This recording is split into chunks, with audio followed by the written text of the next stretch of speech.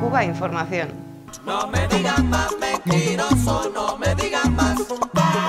No me digan más.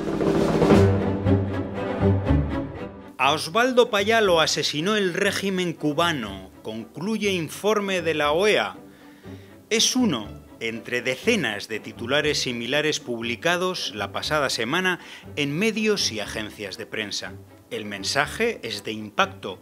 Una comisión jurídica experta habría encontrado nuevas pruebas que incriminan a agentes estatales cubanos en la muerte en 2012 en accidente automovilístico de los contrarrevolucionarios cubanos Osvaldo Payá y Harold Cepero.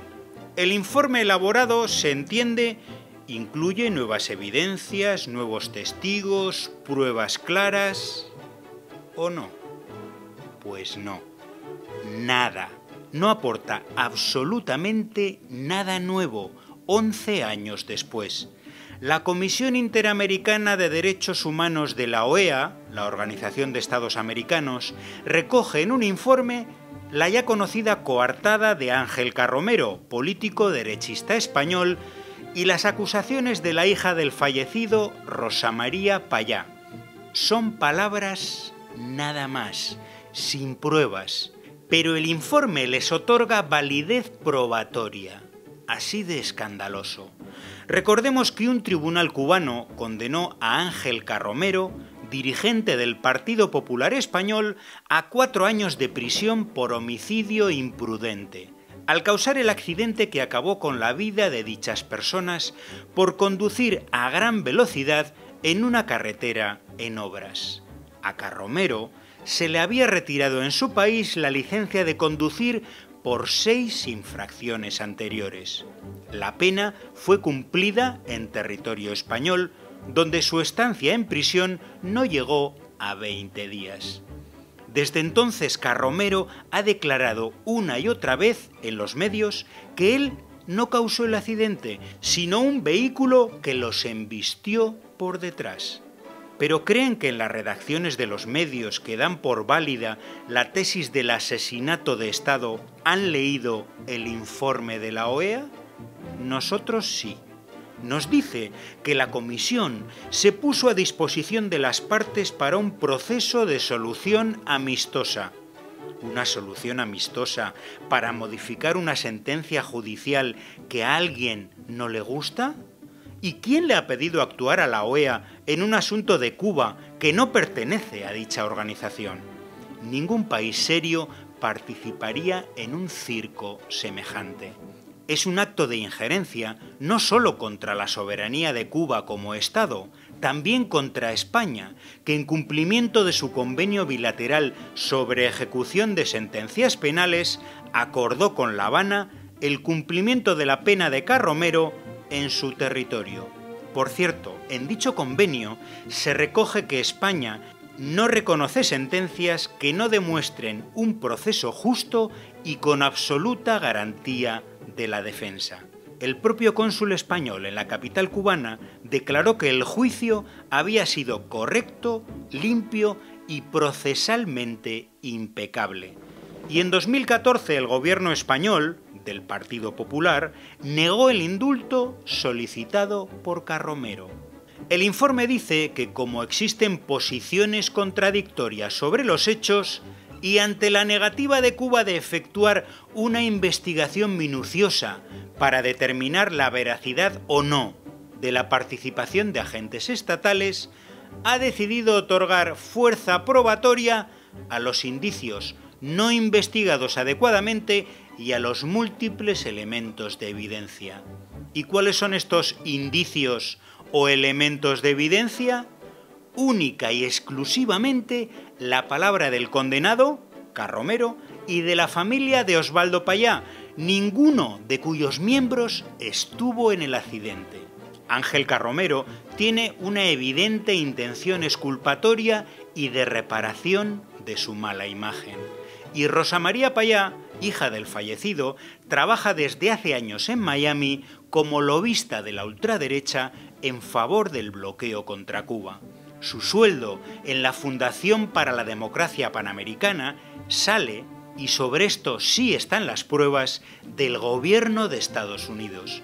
¿Qué fuerza probatoria pueden tener las palabras sin pruebas de Carromero y Payá? Ninguna.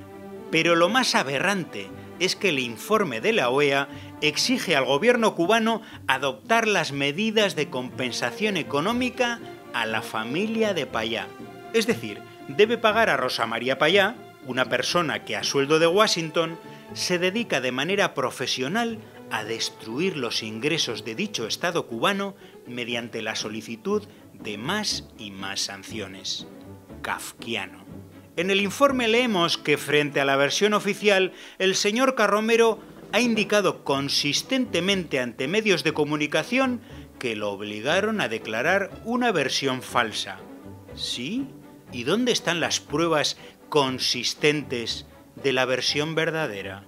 Porque las contradicciones de las fuentes únicas del informe, Ángel Carromero y la familia Payá, en sus declaraciones a la prensa son flagrantes. Repasemos algunas. La principal, las fotografías del vehículo accidentado, no recogen el menor rastro de un impacto trasero, el supuestamente efectuado por el auto homicida.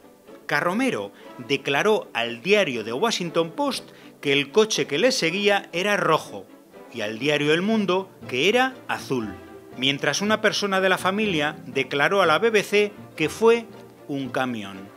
Carromero sostuvo que Osvaldo Payá salió vivo del accidente e ingresó en un hospital. Rosa María Paya, por el contrario, aseguró que su padre no recibió ayuda médica antes de morir y solo fue llevado al hospital después de muerto. Tampoco se entiende que la tensión de una persecución no despertara al político sueco Aron Modig, que dormía plácidamente y no recuerda nada, ni que el supuesto auto homicida, salvo que fuera un camión o un tanque, le sacara de la carretera a menos de 60 kilómetros por hora, velocidad a la que, según Carromero, circulaban. Ni que éste perdiera el conocimiento tras un choque a tan baja velocidad. ¿Qué investigación ha realizado la Comisión de la OEA para aclarar semejantes contradicciones? Ninguna, porque todo no es más que una operación política con revestimiento jurídico a cargo del gobierno de Estados Unidos. El informe incluye otros disparates que le sirven para aderezar el supuesto contexto de violencia, hostigamientos y amenazas previo al accidente. Un mes y medio antes de su muerte, leemos, el señor Paya sufrió un atentado, pues un auto colisionó con el suyo y como han afirmado sus familiares, el choque fue provocado por un agente estatal en un auto oficial. ¿Así?